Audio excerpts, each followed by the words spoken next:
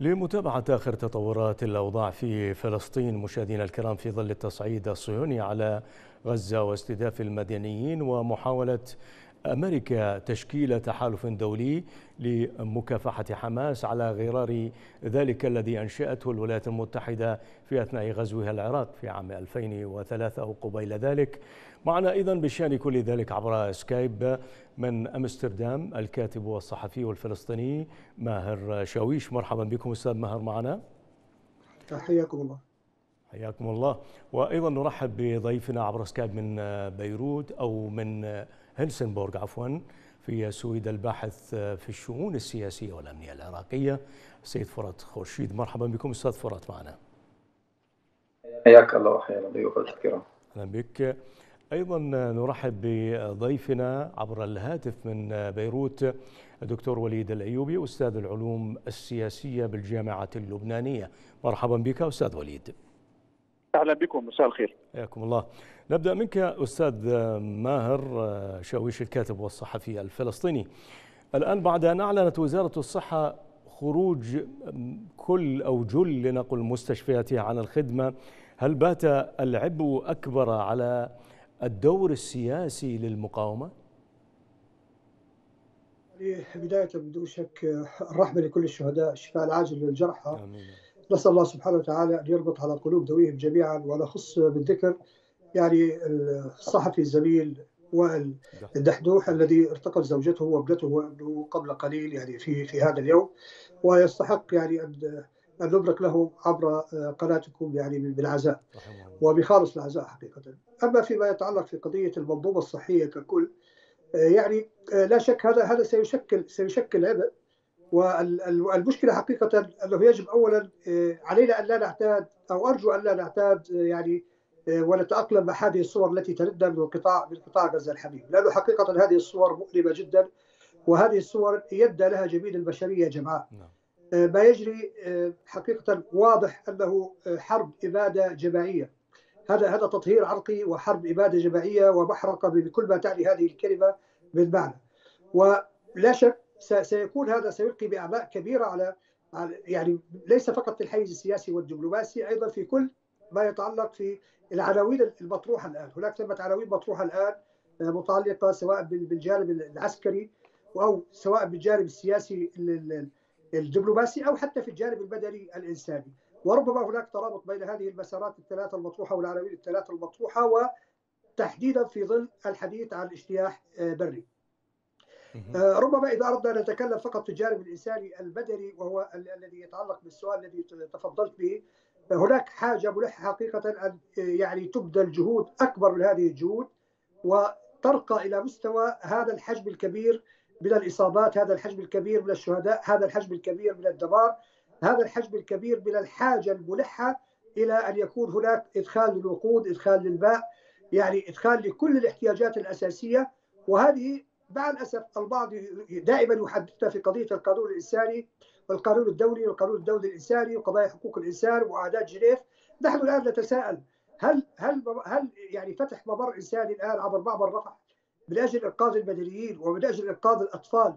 هل هذا يعني كثير جدا أو لا يتناسب أو ليس هو جزء من منظومة حقوق الإنسان ومنظومة القانون الدولي والقانون الدولي الإنساني؟ نحن حقيقة امام أمام يعني فضح وكشف لكل هذه المنظومة وتعرية واضحة لكل هذه المنظومة ليس فقط على مستوى الغرب وأيضا مع الأسف على مستوى كل هذا كل هذا العالم.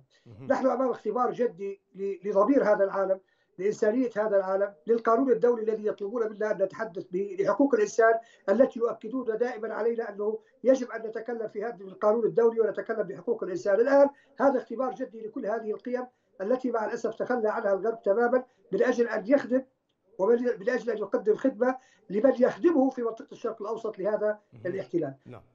سأعود إليك مرة أخرى. ننتقل إلى ضيفنا عبر الهاتف من بيروت دكتور وليد الأيوبي أستاذ العلوم السياسية بالجامعة اللبنانية. دكتور وليد مجلس الأمن عقد أمس اجتماعا على هامش اجتماع أعضاء دورته الحالية. تحدث فيها المندوبون العرب تحدث تحدثوا في هذا الاجتماع وأكدوا وجوب فتح ممار إنسانية. ولكن لما تذهب هذه الدعوات سدى برأيك؟ العفو أنا الصوت ليس واضحا. أرجو أرجو يعني المعذرة. الحقيقة نحن هناك الحقيقة رأيين تصورين لدور الأمم المتحدة ولمجلس الأمن. طبعا هناك الرأي الذي يرى بأن هذه المنظمة هي مؤسسة هي مؤسسة جامعة وهي مؤسسة بخدمة السلم والأمن الجماعي والدولي آه، في كل مكان. آه، أما آه، في في الواقع فالحقيقة مجلس الأمن هو هو يعني هو تعبير عن هذا التركيز الدولي هذا الصراع الدولي يعني كل المصالح الدولية وكل أشكال الصراعات الدولية بين القوى العظمى تعبر عن نفسها وتتمظهر ضمن هذه المؤسسة التي تسمى مجلس الأمن الدولي. يعني نحن لا ينبغي أن ننتظر يعني آه، آه، حلا مثاليا يتمخض عن هذه المؤسسة كونها هي تجمع كل كونها جامعة لكل هذه التناقضات. والحقيقة نحن آه، يعني آه، هناك أصوات من هنا وهناك أصبحت تنادي وبإلحاح من أجل إصلاح هذه المؤسسة وجعل الحقيقة مستقلة عن مصالح الدول. هذا الصوت طبعا هو صوت يعني صوت في البرية ولكن ينبغي السعي حثيثا وبشكل جدي الحقيقة من أجل فصل فصل الدور الدور الدور القانوني والأخلاقي المطلوب من هذه المؤسسة والدور السياسي الذي تقوم به. طيب سأعود إليك مجددا. نذهب إلى الأستاذ فرات خورشيد باحث في الشؤون السياسية والأمنية العراقية. أستاذ فرات بحسب سي إن إن فإن عسكريين أمريكيين نصحوا قوات الاحتلال الصهيونية بأنه آه، أن يتجنبوا حرب الشوارع مثل التي جرت في العراق سواء كانت في الفلوجة أو غيرها آه، من المدن حتى في شوارع بغداد مثلا هل من مقاربة هل تجوز هذه المقاربة برأيكم في آه، ظل الزمان والمكان؟ نعم بداية نتمنى أن لا يحصل أي تصعيد في هذا الصراع لأن في النهاية الضحايا المدنيين أعدادهم آه، تفوق بأضعاف كثيرة عن الضحايا بين الأطراف المتصارعة. ولكن الوضع في غزة يختلف آه، رغم أنها صراع داخل مدينة ولكن لو نظرنا إلى الكثافة السكانية في غزة المساحة الضيقة والمحدودة المنافذ المعدومة للمدنيين للخروج الآمن. كل هذه مخاطر يجب أن يفكر بها الطرف الذي ينوي تصعيد الصراع إلى حرب شوارع داخل هكذا منطقة مكتظة وليس فيها لا منافذ آمنة لخروج المدنيين ولا لانتقالهم من مربع إلى آخر بأمان خارج منطقة الصراع. يعني في هذه الحالة ستكون العوائل الموجودة داخل غزة دروع بشرية لمن يقاتل دفاعا عن الأرض أو أهداف آه، بريئة لمن يحاول الدخول إليها. هذه كارثة إنسانية يجب أن يتوقف المجتمع الدولي عندها وينظر ماذا سينتج عنها قبل أن يبدأ بحسابات مغلوطة آه، تنتج عنها كارثة آه، سيذكرها التاريخ تفوق كل الكوارث والجرائم التي تم ارتكابها منذ عام 1948 ولحد اليوم. آه، أيضا نرحب بضيفنا عبر سكايب من آه، إسطنبول آه، معين نعيم متخصص في الشأن التركي. أستاذ معين مرحبا بك. ونبدأ من مرحبا بكم المشاهدين والمتابعين الكرام. حياكم الله. نبدأ من المقولة الشهيرة أن تأتي متأخرا أفضل من ألا تأتي أبدا. هل يمكن أن ينطبق أو هذا القول على الموقف التركي كما يقول بعضهم؟ يعني حقيقة طبعا ممكن أن ينطبق لكن أعتقد أن الأتراك آه، لم يستوعبوا أو لم يتخيلوا آه، الأمر في بداياته فكانت المواقف المترددة الأولى بناء على هجمة آه، البطولية للمقاومة الفلسطينية في طوفان الأقصى. ثم حاولوا أن يلعبوا دور الوسيط ظنا منهم أن الأمر يبدو هكذا هذا تحليلي. أن الأمر سينتهي خلال فترة قصيرة ويكون هم الوسطاء ولا تخسر تركيا. ما استثمرته من جهد ووقت وفي موضوع إعادة تطبيع العلاقة مع الكيان الصهيوني. ثم مع ومع الولايات المتحدة الأمريكية ومع بعض الأطراف التي تدور في فلكهم في المنطقة. لكن يبدو أن الأتراك اليوم استوعبوا خاصة بعد الخطاب الأمريكي أمس واليوم والتصريح بإعادة تشكيل أو إضافة حماس إلى بنك أهداف التحالف الدولي لمكافحة داعش فكان حدث تغير واضح في الموقف التركي قد يكون جاء متاخرا لكنه يبدو أنه يحاول أن يلحق وأعتقد أنه بدأ يلحق بمواقفه السابقة وأنا أعتقد أن الأمر لن يتوقف عند هذه النقطة. من هنا أستاذ ماهر كاتب والصحفي الفلسطيني أمريكا الآن تسعى إلى إنشاء تحالف لمكافحة تمويل أو هناك شبكة لتمويل حماس وحتى فرنسا هنا تضغط في هذا الجانب لتوسيع هذا الهدف ليكون يعني ربما أشبه بالتحالف هذا يذكرنا بتحالف على داعش كيف تقرأ هذا الموقف وما تأثيراته؟ يعني في الحقيقة نحن كأبناء هذه القضية الفلسطينية ونتابع تفاصيلها ونعرف يعني أدق تفاصيلها على مدار ليس فقط 75 عام منذ النكبة وإنما على مدار أكثر من قرن يعني منذ على الأقل منذ وعد وعد بلفور نحن أصلا يجب يعني ندرك تماما حقيقة هذا هذا المشروع وتبنيه من كل دول دول الغرب. يعني هذا الاحتلال عندما قام في عام 1948 وملابسات كل ما جاء قبل ذلك وما بعد ذلك هو بالأصل يعني حتى نكون فاهمين طبيعة المشروع بشكل صحيح هو عبارة عن فكرة متقدمة لهذا الغرب في منطقة الشرق الأوسط وفي الوطن العربي بالذات. لذلك أي فهم يعني بعيد عن هذا عن هذا الفهم سيجعلنا لا نقدر المواقف الغربية بشكل صحيح. هذا هذا هذا المشروع أقامته بريطانيا ثم رعته الولايات المتحدة الأمريكية والآن يتم تبنيه من كل هذه الدول بما فيها الاتحاد الأوروبي. وبالتالي هم يتعاطون مع هذا المشروع على أنه جزء من تركيبتهم وجزء من بنيتهم وبالتالي الحفاظ عليه مطلوب. لذلك غير مستغرب يعني يهب هذا العالم الغربي كله بقيادة الولايات المتحدة الأمريكية لإسناد هذا المشروع بعد ما تلقاه حقيقة من صفعة قوية شهد بها كل الخبراء الاستراتيجيين والعسكريين فيما يتعلق بما جرى ب 7 أكتوبر وحتى هذا هذا الصمود لهذه المقاومة على مدار تقريبا 20 يوم. لذلك الغرب بقضيه وقضيه ذهب باتجاه هذا الاحتلال حتى يثبت أركان هذا الاحتلال وحتى يدعم هذا الاحتلال، بالتالي أي مشروع يخرج من هذا الغرب هو بدون أدنى شك سيكون داعما لهذا الاحتلال، سواء كان مشروعا عسكريا أو اقتصاديا أو ماليا أو أي مشروع متعلق بهذا الاحتلال بدون أدنى شك، ليس لدينا أدنى شك أنه سيصب في خانة هذا هذا الاحتلال وفي خانة دعم هذا الاحتلال. قبل أن ادخل إلى هذه إلى الحلقة الآن يعني تصريح من بايدن ذاته يقول هو يدرك أن هناك يعني أعداد تصله أعداد أعداد بين بين قوسين بين القتلى يعني مدنيين. لكنه هو لا يستطيع أن يحدد إذا كانوا فعلا مدنيين أو غير مدنيين. يعني ما هذا الصرف يعني. بصراحة وما هذه الوقاحة. يعني 3000 طفل. هل أنت بحاجة أن تصنفهم مدنيون أو غير مدنيون؟ يعني هل هذا سؤال يطرحه رئيس الولايات المتحدة الأمريكية بهذه الطريقة؟ يعني إذا كان عندك ثمه شك بالرجال، إذا كان عندك ثمه شك بالرجال فهل هناك شك ب 3000 طفل أو أكثر يعني قضوا في في خلال هذه هذه الفترة؟ يعني هناك ثمه إشارات استفهام كبيرة حول كل تعاطي هذا هذا الغرب ومنظومته مع كل هذه القضية.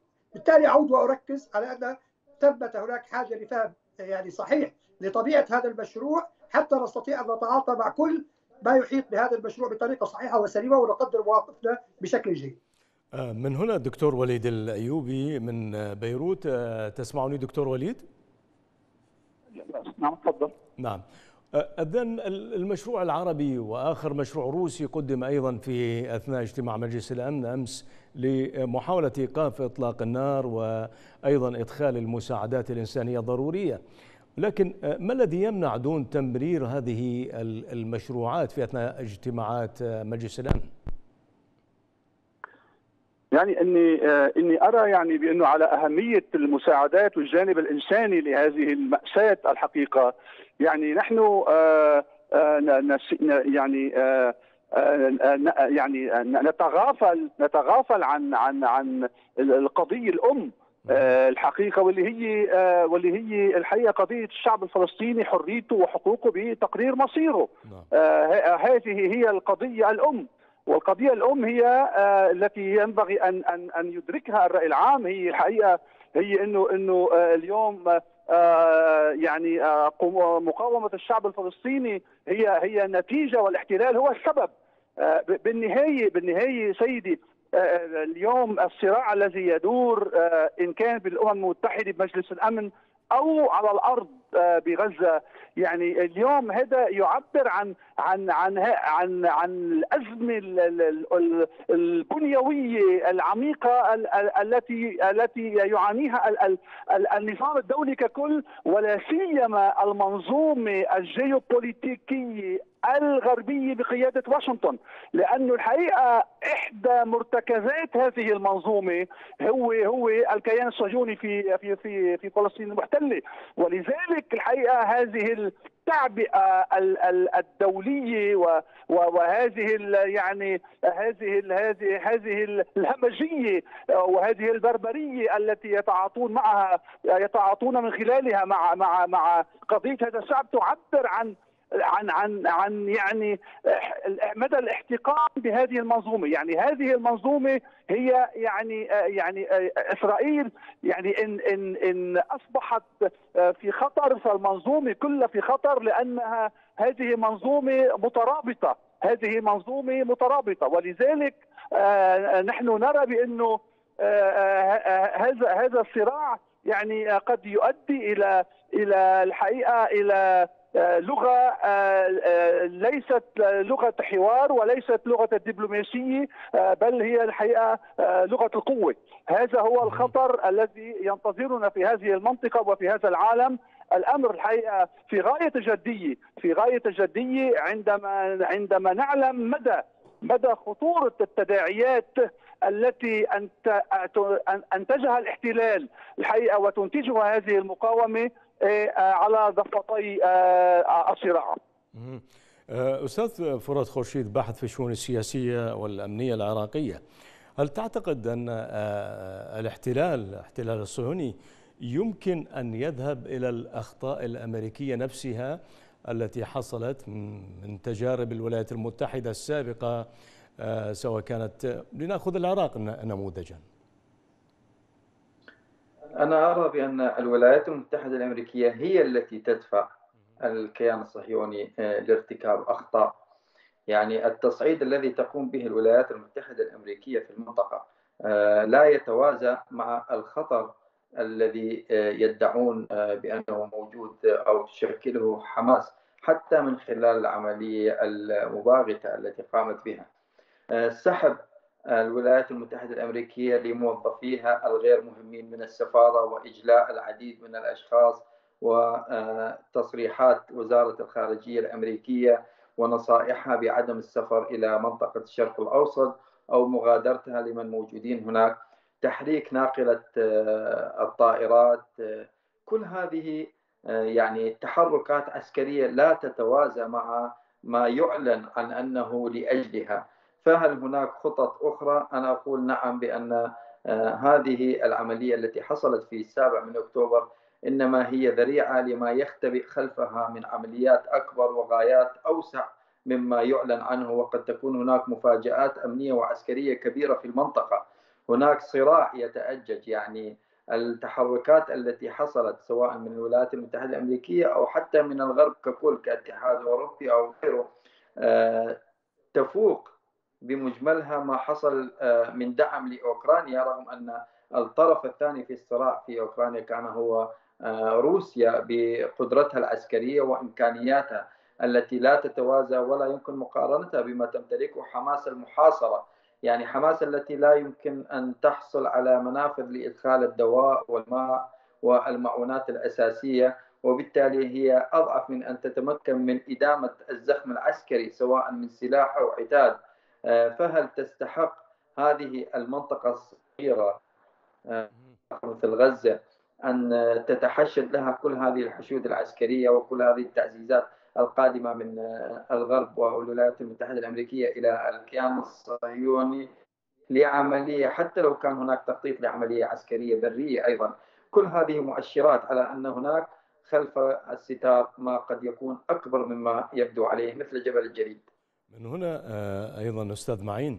يعني آه، في ظل محاولات أمريكا وفرنسا تشكيل تحالف دولي لمواجهة حماس أو ما سمي مكافحة آه، حماس هنا يأتي تصريح الرئيس التركي. كيف تنظر إلى هذا التصريح؟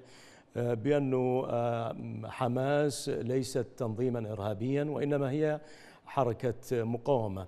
هل هو تصريح يواجه هذه هذه التحركات الغربية؟ أنا أعتقد أنه تصريح ليس بعيد عن هذه التحركات أو الرد على هذه التحركات خاصة وان تركيا كانت شريك في التحالف ضد داعش وأنها شاركت بشكل عملي ميداني في في محاربة داعش في, في الأراضي السورية وكان لها نجاحات كبيرة وأعتقد أن هذا الخطاب وهذا التصريح مهم جدا على الأقل للدفاع عن آه، حركة المقاومه الاسلاميه حماس وأنا أعتقد أنه سيكون آه، خطابا مقدما لعدة خطابات وعدة تصريحات من بعض الأطراف آه، في والدول في المنطقة وأعتقد أنها ستشجع وتتحرك لدعم تركيا في هذا الموقف. لو حقيقة وهذا أمر ضروري جدا لأنه التفريق بين الإرهاب والمقاومة ضرورة وإلا ستتحول كل الأطراف التي لا ترغب الولايات المتحده الأمريكية بها إلى قوى أو تصنيف إرهاب ويقوم التحالف الدولي بالحرب ضدها يعني بالأحرى ستتحول الولايات المتحده ستحول الولايات المتحدة الأمريكية إلى كل القوى في العالم إلى أدوات لديها تحارب بها من تشاء وتقضي بها على من تشاء حتى قد نرى لاحقا بعد المنظمات الدول ومنها الدول في الاقليم وهذا أعتقد أنه سيجر المنطقة إلى حرب إن لم يكن أكبر إن لم تكن هذه الحرب أكبر من حرب إقليمية إن لم تتحول إلى حرب عالمية. أيضا أستاذ ماهر شاويش يعني بحسب صحيفة نيويورك تايمز نقلت بأن منطقتنا تشعر بازدواجية تعامل الغرب مع وضع غزة مقارنة بما يحصل في العالم خصوصا ما حصل بين روسيا وأوكرانيا. هذه الازدواجية إلى ما يمكن أن تجر العالم في هذا الوقت الحرج. يعني الحقيقة القضية لم تعد فقط ازدواجية معايير. يعني أنا أنا أعيش في في في أوروبا وتحديدا في هولندا من حوالي خمس سنوات. أقول لك بكل صراحة أنا على المستوى الشخصي أنا لا أستغرب أن ينحاز الغرب والولايات المتحدة الأمريكية وحتى جزء كبير من الاتحاد الأوروبي إلى رواية المحتل لكن المشكلة ما شاهدته في هذه الفترة و يعني تحديدا بعد 7 أكتوبر هو ليس الانحياز للرواية. هو كم كبير من الحجم والتضليل والتشويه. يعني المشكلة لم تعد في قضية ازدواجية معايير أو قضية انحياز لا القضية باتت الآن مرتبطة في كم كبير من التضليل من التشويه من التدليس من الكذب. يعني تخيل أول أسبوع تقريبا أنا أرصد في على مستوى الإعلام الأوروبي أول أسبوع تقريبا كانت الرواية السائدة هي أن يعني هذا الصراع الذي عمره 100 عام فقط بدأ وكأنه بدأ في 7 أكتوبر في صبيحة 7 أكتوبر وكأن هذه المقاومة التي بالمناسبة هي مقاومة شرعية حتى وفق القانون الدولي، البعض يحاول يرهبنا نحن المقيمين هنا في أوروبا بأن لا تتكلم عن قضية المقاومة وأن هناك تمت إشكاليات فيما يتعلق بالمقاومة، لا المقاومة هناك مشروعية لها حتى ضمن القانون الدولي، المقاومة هناك اتفاقيات، هناك اتفاقية لاهاي لعام 1907 تثبت احقيه أي شعب محتل في المقاومة، هناك أيضا اتفاقية في فيينا مرتبطة في المنظمات المؤقتة والدائمة أيضا تعطي الحق للشعب المحتل في المقاومة، وهناك قانون خاص أو قرار خاص بالقضية الفلسطينية، هذا القرار عمره من عمري، أنا مواليد 1974 هذا القرار صدر في عام 1974 القرار رقمه 32 36 يعطي الحق للشعب الفلسطيني في المقاومة بكل أنواعها بما فيها الكفاح المسلح. هذه معطيات نجادل بها ونقدمها لمن يريد منا أن يتكلم في القانون الدولي. أعود إلى قضية التضليل والتشويه. الرواية التي سادت على الأقل في الأسبوع الأول مما جرى في 7 أكتوبر أن هناك ثمة اعتداء من جهة يعني بين قوسين إرهابية إلى هذا الاحتلال وهناك تقريبا تعبئه وتعتيم على كل ما يتعلق في هذا الصراع على مدار 100 عام أو بالحد الأدنى على مدار 500 عام 75 عام اللي هي من عام 1948 حتى الآن. كان مطلوب وكان واضح أن هناك ثم ضغط أوروبي رسميا وفي الإعلام الأوروبي على التغطية والتعبئه على كل ما سبق يعني تخيل وكأنه لم يكن هناك حكومة يمنية متطرفة الغرب ذاته كان يشكو من التعامل معها. كأنه لا يوجد مستوطنات وصل عدد المستوطنين إلى 750 ألف مستوطن في الضفة الغربية وتحولت الضفة الغربية إلى كانتونات معزولة عن بعضها البعض.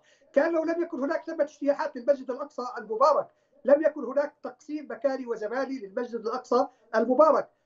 وأذهب مباشرة إلى الميدان الذي جرى فيه. كأنه لم يكن هناك 17 عاما من حصار ظالم قاهر ل 2 مليون و200 ألف من أبناء شعبنا الفلسطيني في توصيف منظمات المجتمع المدني والمنظمات حتى الأممية أن غزة لم تكن صالحة للحياة الآدمية. هل هناك أكثر من هذا الظلم في أن تعمي على كل هذه القضايا؟ منظمة العفو الدولية في شهر أيار 2022 الماضي قالت بشكل واضح وصريح منظمة أمينستي بأن هذا الاحتلال هو احتلال يرتكب آه، يعني هو نظام فصل نظام فصل عنصري وهذه مؤسسة أممية. كذلك كانت سبقته هيومن رايتس ووتش وسبقته منظمة يهودية إسرائيلية هي بتسيلم قالت أيضا بأن هذا نظام فصل عنصري ما أريد أن أقوله انه كل هذه الروايات كل هذا الذي جرى يريد الغرب أن يرمي به ويبدأ معنا في التوقيت وفي التاريخ للقضية الفلسطينية مما جرى في 7 أكتوبر. وهذا جزء من التضليل والتغطية والتعبئه على كل ما جرى، نقطة مهمة أيضا الرواية التي تم إطلاقها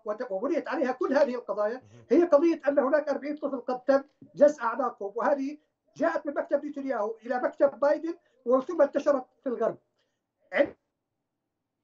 نعم. إذا نعود إلى دكتور وليد الأيوبي أستاذ العلوم السياسية في الجامعة اللبنانية من بيروت آه، مع مطالبة أمريكا وفرنسا آه، تشكيل آه، حلف لمكافحة حماس دكتور وليد ما الأسانيد القانونية في القانون الدولي الذي يمكن أن تستند عليها أمريكا وحلفائها برأيك؟ الحقيقة يعني آه، آه، أمريكا هي تعمل خارج خارج آه، منطق القانون الدولي والمؤسسات الدولية والشرع الدولي والمعاهدات الدولية وال أمريكا بثقافتها السياسيه الحقيقة هي ثقافة لا تؤمن بهذه المؤسسات، يعني نحن هذا هذا الموقف هذا ليس موقفا شاعريا، هذا موقف يعني أنا أعبر عنه بدقة يعني. أمريكا ترى في المؤسسات الدولية أداة تقوض تقوض إمكانية تنفيذ لسياساتها الدولية. ولذلك ولذلك اليوم الحقيقة اليوم منطق القوة هو السائد وليس هو وليس وليس منطق القانون والحق. آه، عصبة الأمم آه، وجدت آه، لم تمنع يعني الحرب العالمية الثانية من من من من الحدوث من الحصول اليوم القانون الدولي كان موجود لم يحصل لم لم لم يمنع إسرائيل من من الوجود. الحروب التي نشاهدها آه، يعني آه، شاهدناها خلال هذا القرن ونعاينها بأم العين اليوم في هذا القرن ال 21 لم تمنعها المؤسسات الدولية من إذا آه، هذا نحن نحن نعيش اليوم صراعا دوليا جيوبوليتيكيا بكل ما نعم. للكلمه من معنى. اليوم العالم منقسم إلى فسطاطين إلى قسمين إلى محورين. والحقيقة أي كلام غير غير هذا الكلام آه، آه، هو هو هو الحقيقة كلام آه، حق يراد به باطل. اليوم يعني نحن وصلنا إلى إلى مرحلة أصبح أصبح يعني الحوار والدبلوماسية أصبحت غير غير غير ممكنة لأنه الموضوعات الصراع بين القوى العظمى موضوعات غير قابلة للحل الحقيقة. وأمريكا هي تحاول تحاول يعني انطلاقا من من من من أهمية قناعته وإيمانها بعملية توازن القوى. هي تحاول الا تنغمس بحرب عالمية ضد قوتين عظمتين يعني أكبر خطر واجهته أمريكا بالحرب العالمية الثانية يعني هذا درس من التاريخ هي أنها كانت تواجه قوتين عظمتين تمثلتا بألمانيا بأوروبا واليابان بالمحيط الهادئ. اليوم هي هي أمام هذا الخطر نفسه إذ إنها تواجه قوتين عظمتين أنا أقصد الصين من ناحية وروسيا من ناحية ثانية نعم. وهي تحاول أن تعطل مفعول إحدى القوتين لكي تستطيع أن تستفرد نعم، بالأخرى وروسيا والصين مقتنعان اقتناع كامل بأن هذه الاستراتيجية الأمريكية طيب. آه، آه، آه، لن تنطلي عليها ولذلك نحن رأينا نعم. هذا المشهد العسكري هذه البوارج نعم. التي تهافتت على المتوسط إلى آخره نعم. لأنها تعلم بأنه لأنها تريد أن ترسل إشارة بأن التضامن في بين بين بالمنظومة نعم. الحلف المعادي أو المواجه لأمريكا هو تضامن آه، حقيقي نعم ومتين دكتور وليد الأيوبي. ولا إمكانية لأمريكا أن تحيد الصين عن هذه المواجهة دكتور وليد الأيوبي. إذا كنت تسمعني من بيروت أستاذ العلوم السياسية بالجامعة اللبنانية.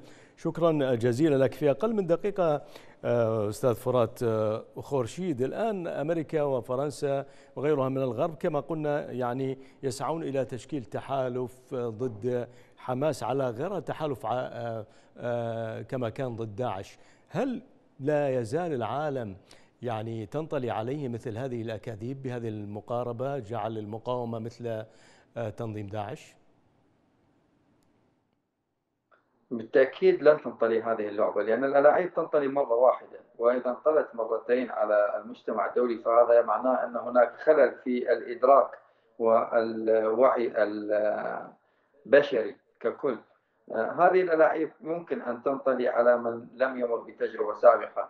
التجارب السابقة أثبتت بأن كل التحالفات التي تدعي محاربتها للإرهاب إنما هي ترسيخ للإرهاب وينتشر الإرهاب في مناطق بعد كل مرة يدعي فيها آه، أصحاب التحالفات الدولية لمكافحة الإرهاب تدخلهم فيها. وهذا ما حصل في العراق. العراق اليوم أكثر إرهابا مما كان عليه قبل أن يتدخل التحالف الدولي لمكافحة الإرهاب حيث كانت هناك طرف واحد والآن عديدة من ضمن البكك وغيره في العراق. إذا التحالف الدولي آه، لم ينجح ولذلك آه، لا أعتقد أن هناك حاجة للعالم لتجربة آه، يعني مغامرات لم تحقق نجاحا سابقا. شكرا جزيلا لك أيضا سيد فرات خورشيد باحث في الشؤون السياسية والأمنية العراقية أعتذر أيضا من ضيفي الكريمين أستاذ ماهر شاويش شكرا جزيلا لك أستاذ معين نعيم شكرا جزيلا لك أيضا